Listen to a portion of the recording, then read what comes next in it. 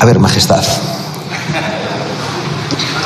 ¿Usted cree Señora Bascal, le ruego que por favor se dirija al presidente del gobierno como presidente del gobierno. Majestad sabe que está. Lo estoy haciendo con todo, el, con todo el decoro e incluso excesivo.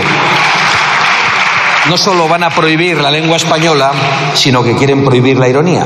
Pero lo siento, no voy a dejar que ustedes me prohíban hablar como me venga en gana. ¿Ustedes creen que cuando se utilizan expresiones como echar a patadas, correr a gorrazos, son propuestas literales. Es decir, si yo digo que hay que defenestrar a este gobierno, ¿creen que estoy proponiendo que se tire al presidente del gobierno por la ventana?